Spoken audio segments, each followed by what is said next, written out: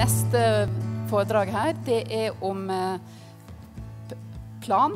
Kan plan være eh, et godt verktøy eh, i, det samme området med å, å ha en god besøksforvaltning?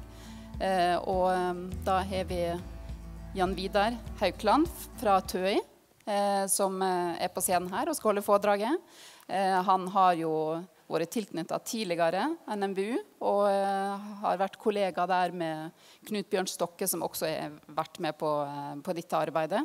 Og han skal på scenen etterpå. Uh, og han kan også få spørsmål, Knut, hvis, hvis det blir en dialog etterpå. og ja, og på Ås hadde jo du, du tok jo en doktorgrad der på nettopp eh, eh, forvaltning av, bærekraftig forvaltning av eh, Ja, det var bærekraftig reiselivsutvikling. ja, utvikling i nasjonalparkene. Bra. Ja. Da kan du sette i gang, og her er den hvis du vil bruke den. Ja, tusen takk for introduksjonen, og takk for at vi fikk komme her. Det er også meg selv, Jan Vidar Haukeland og Knut Bjørn Stokke som står bak denne presentasjonen her. Og vi skal snakke om besøksforvaltning eh, som en integrert del av kommunal planlegging. Vi har satt et spørsmålstegn etter fordi vi er eh, i en veldig tidlig fase av et prosjekt. Eh, men vi stiller da spørsmål om ikke det kan være en vei å gå framover for å få en mer helhetlig eh, besøksforvaltning rundt omkring i eh, Norges eh, grisgrendte land. Så det som er disposisjonen her, da, det er at jeg skal si litt om utfordringer i naturforvaltningen som følge av økt besøkstrykk i eh, naturområder. Det kjenner dere veldig godt til eh, fra før av, og det har jo også vært belyst her eh, før i dag. Eh, så skal jeg si litt om besøksforvaltning som verktøy i verneområdene. Det er i hvert fall de som jobber i nasjonalparksammenheng og eh, i naturforvaltningen kjenner jo også godt til det. Men jeg har lyst til å bare peke på det som, som gjøres der. Så har jeg lyst til å berøre det som da angår ansvaret for det som faktisk foregår utenfor vernegrensene. Dvs. Si i randsonene til disse nasjonalparkene og verneområdene. Og eh, i andre eh, naturområder. Det er jo ikke all natur i Norge som er vernet. Det aller meste er jo ikke det. Eh, så hva, hvem har ansvaret der, og hvordan kan det håndteres? Og hvordan er det med de som bor nå i de berørte eh, lokalsamfunn og i grendene rundt omkring? Har de også en stemme i dette? Så eh, Vi eh, ser litt også videre da på behovet for koordinering og samarbeid mellom verneforvaltning og lokal fylkeskommunal planlegging. Eh, vi mener at plan- og bygningsloven er et vesentlig redskap for planlegging både på tvers eh, mellom altså verneområdene og utenfor verneområdene, eh, og i alt det som er utenfor verneområdet av naturforvaltning. Da. Vi, jeg sa at vi var i innledningsfasen i et prosjekt som vi har kalt for Landtime. Det er eh, organisert som et forskningsrådsprosjekt som ledes av NMBU. Og vi har en arbeidspakke der hvor vi skal følge eh, et pilotprosjekt som Nordland fylkeskommune har. Eh, hvor de har pekt ut en del kommuner i Nordland som eh, pilot. Eh, hvor de setter da nettopp besøksforvaltningen inn i et eh, videre samfunnsperspektiv og en videre samfunnsplanlegging. Først til det første. vi har sett at økt friluftsliv og naturbasert reiseliv har en del problemer som følger med. Eh, besøkstrykket medfører slitasje på vegetasjon. som Vi har sett. Vi kjenner til forstyrrelse av dyrelivet, forsøplingsproblemer, støy. Eh, og det er utfordringer når det gjelder infrastruktur som toalett- og parkeringstilrettelegging. Mange steder er preget av økt trengsel. Og mange områder endrer karakter fra å være villmarkspreget til å bli eh, steder hvor det er altfor mye folk, synes mange, og følelsen av uberhørtheten forsvinner. Det er konflikter rapporteres det om, mellom nye eh, brukere, som det blir stadig nye varianter av, det har vi også hørt eksempler på her, og de mer tradisjonelle friluftslivsdyrkerne. Eh, eh, det er usikkerhet, usikkerhet omkring forståelse av allemannsretten. Det har vi også fått belyst. Og det er økt risiko for ulykker og krav til beredskap. Det har vi kanskje ikke belyst så langt, men det kommer jo et foredrag seinere i dag på det. Og det er mange andre eh, tematikker også som er av mer eller mindre alvorlig karakter, og som, som, kommer opp fra tid til annen. Det som vi ser når det gjelder hvordan forvaltningen forholder seg til dette, det er at eh, forvaltningstiltakene ofte er reaktive. Og det er en som het Buckley som sa for mange år siden at 'management action is not taken until impacts are clearly visible'. Altså at det skjer først når det brenner der ute, så rykker eh, brannfolkene ut for å slukke dem. Så vi har altså et friluftsparadoks her. at Jo flere som bruker den naturen vi elsker, desto større er sjansen for at vi faktisk ødelegger den. Og det gjelder enten vi opptrer varsomt eller ikke. Vi setter alltid et fotavtrykk i en eller annen forstand. Eh, besøksforvaltning i Norge er jo da et relativt nytt verktøy i verneområdene. Vi fikk jo denne stortingsmeldingen om friluftsliv i 2015 som satte dette på dagsorden. Og eh, eh, Målsettingen da var at hver nasjonalpark skulle ha utarbeidet en besøksstrategi innen 2020. En ny merkevare- og kommunikasjonsstrategi eh, for nasjonalparkene skulle da implementeres. Og Det ble sagt også i denne stortingsmeldingen at skilting og øvrig tilrettelegging skal forbedres. Og det skal satses på kunnskapsformidling om naturen og den sårbarhet i Naturinformasjonssenteret. Så da het det plutselig 'Velkommen inn i naturen'. Og Det var en ny, eh, helt ny dreining vil jeg si, i norsk naturforvaltning. Og eh, Mye av bakgrunnen for dette var jo da eh, impulsene som kom fra, fra angloamerikanske nasjonalparker. vil jeg si, Hvor man da har sagt at som David Attenborough formulerte det her No one will protect what they don't care about, and no one will care about what they never have experienced. Så for at man skal ta vare på og få forståelse for verdien, kvaliteten som eh, nasjonalparken og verneområdene representerer, så må man også ta dem i bruk. Altså må folk få tilgang og inngang til eh, nasjonalparkene. Og Her ser vi da noe av denne merkevarebyggingen som ble gjort i sin tid. Eh, med at man utvikla en ny eh, profil her med ny logo osv. Som dere, mange av dere har vært eh, med, på den, med på den reisen. Og, og, det har jo blitt satt i system etter hvert. da. Vi fikk eh, veiledere i besøksforvaltning som Miljødirektoratet utarbeida. Eh, og den vektlegger da kunnskapsbasert forvaltning. Og kunnskapen skulle da være basert på eh, kartlegginger av sårbare naturverdier i områdene. Eh, reiselivsinteressene som gjorde seg gjeldende her og de besøkendes eh, opplevelser og atferd. Og Målsettingene med dette var nettopp vi skal fortsatt ivareta verneverdiene i høy grad. Det ble ansett som det viktigste. Men forvaltningen og besøksforvaltningen skal bidra også til lokal verdiskapning. Altså at de lokale reiselivsinteressene og næringsinteressene rundt parkene skulle få del i dette. Og det skulle sikre gode opplevelser eh, for de besøkende slik at de blir oppmerksomme på de kvalitetene og de verdiene som, som disse naturområdene representerer. Og denne Situasjonsanalysen da, som dette kunnskapsgrunnlaget baserte seg på, eh, ga da grunnlag for målformuleringer, strategiske grep og en konkret tiltaksplan i hver enkelt eh, park, som da var knytta til forvaltningsplanen for områdene. Jeg har lyst til å gi eh, miljøforvaltningen honnør for at de gjorde dette. Eh, det var ikke opplagt at det skulle skje. Uh, Anne Marie var inne på at jeg skrev om dette for ti år siden. Og det var nokså langt fra uh, opplest og vedtatt politikk den gangen, i 2010. Men i 2015 så kom dette altså i gang. Og Fornyelsen har da skjedd på få år, og disse tingene er blitt satt i system. Og Besøksstrategiene innlemmes nå i forvaltningsplanene rundt omkring i nasjonalparkene. Og Det syns jeg er et, et, veldig godt grep, og jeg er veldig glad for at det har skjedd personlig også da.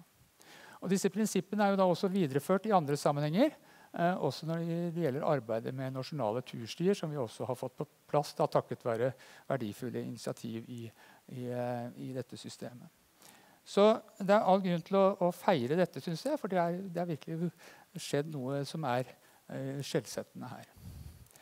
Eh, tanken er jo det at med denne forvaltningsreformen som kom også, at det skulle være mer lokal fundert forvaltning. Man skulle basere seg på lokal kunnskap også. Ikke bare vitenskapelig eh, kunnskap, men også den tradisjonsbaserte kunnskapen i lokalområdene. Man fikk lokale forvaltere, og man fikk lokale eh, nasjonalparkstyrer. Lokal næring skulle være med i rådgivende utvalg for nasjonalparkene og i referansegrupper for disse planprosessene. Lokale bedrifter ble invitert inn og kunne bruke nasjonalparklogoen i sitt uh, arbeid og i sin, uh, sin, virksomhet. Vi har fått etablert nasjonalparkkommuner og landsbyer. Vi har også selvfølgelig fra før av hatt interkommunale friluftsråd som har arbeidet rundt disse parkene. Og vi har mange lokallag av frivillige organisasjoner, og vi har dugnadsgjenger og nasjonalparkverter og mange som støtter opp om, om dette prosjektet eh, på lokalt hold.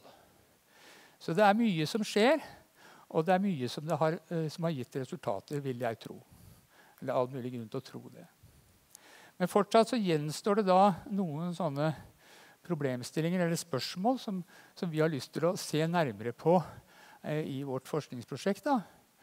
Uh, og, hvem, og, det går på forholdet mellom nasjonalparkene og omgivelsene. kan vi si. Hvem er det som planlegger for randsonene eller innfallsportene til nasjonalparkene? Som jo betyr ganske mye for kanalisering av trafikk og hvordan disse nasjonalparkene forstås og oppleves. Hvem har ansvaret for besøksforvaltning i andre naturområder enn verneområdene i kommunene? Og hvem har ansvaret for de lokale sosiale effektene Dvs. Si påvirkningen som denne økte trafikken inn i nasjonalparkene uh, har på de tilstøtende lokalsamfunnene. Og hvor reell er egentlig samarbeidsplattformen som er etablert mellom nasjonalparkforvaltningen og de lokale berørte interessene. Dette er ting som vi har lyst til å gå litt nærmere i sømmene på. da. Og Vi stiller da spørsmål om om ikke kommunene bør ha et helhetlig ansvar for besøksforvaltning i sin planlegging. Eh, når det gjelder det som skjer i randsonen og innfallsportene, og rundt der, så er det jo kommunene etter plan- og bygningslovene som, eh, som, har ansvaret. Og det er viktig å se tiltak på tvers av vernegrensene. og Derfor syns vi at, at, dette også er et, i høy grad et kommunalt anleggende. Eh, når det gjelder de øvrige eh, naturområdene, så er jo da kommunene etter plan- og bygningsloven de som, som da har ansvaret for å ta vare på dette. Og det gjelder også da selvfølgelig lokalsamfunnsutvikling i sin alminnelighet. Reiseliv og også friluftsliv griper inn i svært mange lokale forhold. Det er vel ingen næring som har så mange lokale implikasjoner og, og virkninger som nettopp reiselivet. Påvirker både næringsliv, arealbruk, kulturliv og sosialt samkvem, og selvfølgelig også da naturmiljø på lokalplanet. På godt og vondt. Så det er jo også i høy grad et uh, et lokalt, kommunalt ansvar. Da. Så hadde jeg lyst til å se på hvordan samarbeidsplattformen som er etablert mellom nasjonalparkforvaltningen og lokale berørte interesser, fungerer. Og der har vi gjort litt tidligere forskning, bl.a. fra noen av nasjonalparker. Her et par andre eksempler som jeg skal nevne så vidt. Ja. Eh, noen erfaringer fra forskningen her. Nordlandsforskning har gjort et stort arbeid i å kartlegge virkningen av den lokale Eh, forvaltningsreformen som kom nå i 2021. Og det, de konkluderer med at arbeidet med besøksforvaltning legger press på forvaltningen og forsinker arbeidet med å få gjennom eh, forvaltningsplanene. Også En del uh, besøksstrategier er også blitt forsinka av den grunn at forvalterne ikke har kapasitet til å følge opp dette. De konkluderer også med at det er liten påvirkningsmulighet for lokale interesser i de rådgivende utvalgene og det er mest brukt som en informasjonskanal. og Det er derfor varierende hvor stor den reelle lokale medvirkningen og innflytelsen er på disse besøksstrategiene. Eh, lokalt eierskap imidlertid, til forvaltningen har økt. Og verneforvaltningen konkluderer med har fått mye større lokal eh, legitimitet. og Det er jo et veldig viktig poeng. Eh, og Vi ser at det ikke er så mye konflikter mellom nasjonalparkforvaltning og andre interesser som det var for en tid tilbake. I eh, forskningen for øvrig så ser man jo ofte eh, de vernede og ikke-vernede områdene i sammenheng. Og Det er en dreining som har skjedd nå på 2000-tallet, de siste 15-20 årene. Og det ses også på, som et redskap for bærekraftig reiselivsutvikling i disse eh, regionene. Eh, nasjonal verneforvaltning har tradisjonelt vært opptatt av å ivareta verneverdiene, selvfølgelig. Men kommunene og kommunal planlegging etter plan- og bygningsloven har jo et videre perspektiv som skal både ivareta vern og lokalsamfunn. I Bioturprosjektet, som vi da eh, har en bokutgivelse fra her, øverst i høyre hjørne, så eh, konkluderer vi at det er lite samordning av kommunal planlegging og forvaltningsarbeid som foregår i verneområdet. Og integrering på tvers av systemene mangler i stor grad. Eh, og dette her er jo da konklusjoner som er gjort på basis av, av eh, analyser og intervjuer av eh, forvaltere og, og interessenter i tre parker som inngikk i denne studien. Varangerhalvøya og Folgefonna og Fuglefjellet nasjonalparker i Sør-Norge her. Så et sterkere partnerskap mellom eh, forvaltning, kommunale interesser, private aktører synes å være på sin plass. Og dette er også noe som vi har konkludert med i andre prosjekter som vi har hatt, knytta til eh, bl.a. Eh, verdensarvområdet i Nærøyfjorden, eh, hvor de også har et landskapsvernområde der inne. At det er for lite forankring av, av besøksstrategien som er utvikla der, i den lokale kommunale planleggingen.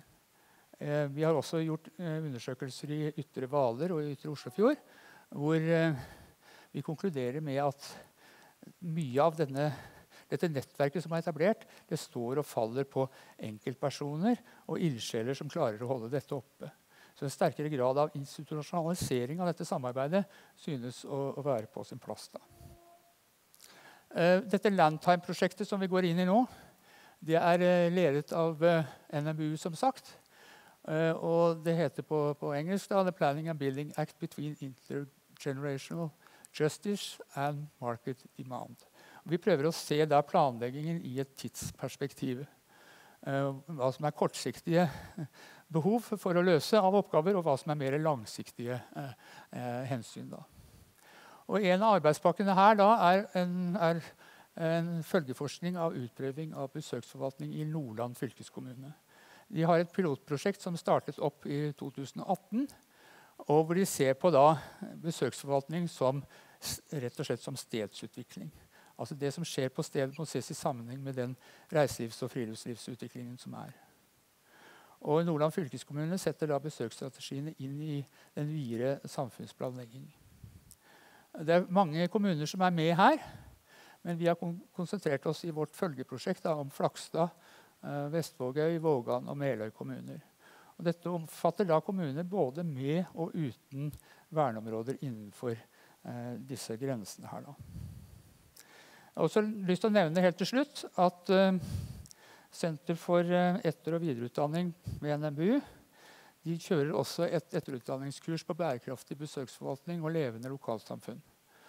Uh, og hvor målgruppen da er planleggere og andre aktører i offentlig og privat virksomhet med ansvar innen areal- og miljøforvaltning, reiseliv og lokalsamfunnsutvikling. Det er ganske bredt andakt her. Og Fokuset og målsettingen er å få til eh, å forsøke å få samstyring knyttet til helhetlig besøksforvaltning og stedsutvikling og at besøksforvaltning må inn i det kommunale, fylkeskommunale og nasjonale planarbeidet. Så tanken er da at I de nærmeste årene skal vi følge opp dette her og, og, se på hvordan disse prosessene foregår, og i hvilken grad man lykkes med å realisere dette. Så Det er egentlig bakgrunnen og rammene for det prosjektet som vi skal gjøre. da. Takk for det.